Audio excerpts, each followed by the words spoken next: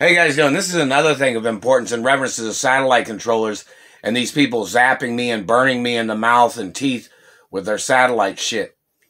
Ask them what they think I was doing when they've been doing these things. Ask them what they, in their opinion, what they thought. They thought I was doing something wrong. Huh? They just messed with me. They made me burp. The satellite man did. So when you've done this, government man, did you think I had obligations to you? And you were involved in the murder of my parents? You thought you were, you claimed you thought you dominated my parents or something? When you trespassed on my mother and father's land and my grandfather's land, government man? Need an answer.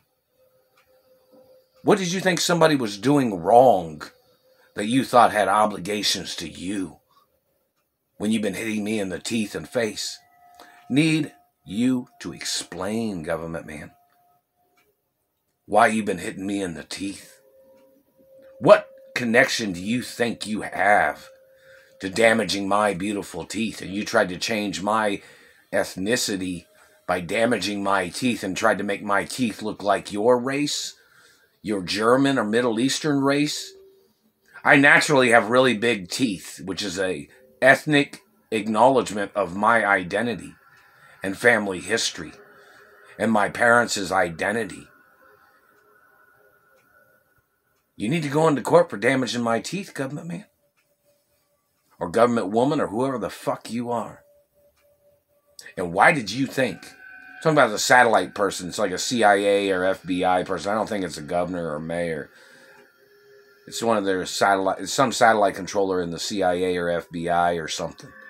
We want you to explain what obligations you thought I had obligations to you or something, government man.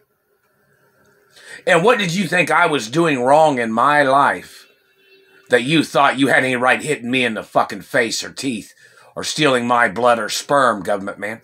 Or stealing my fucking money or costing me money or kidnapping me from my mother and father's mansions. What did you say you thought I was doing wrong? That you thought I had obligations to you? You better answer the fucking question, government man. You dirty satellite motherfucker. I'm the owner of my mother and father's companies. You claim that you were the boss of my mother and father's companies? Or my grandparents' companies? Did you? That's a violation of corporate law, motherfucker. You can get charged for the murder of my parents. You better go into court, government man. Explain why you've been hitting me in the teeth. You better have a good answer. But I can guarantee it ain't never going to be good enough what you're going to say.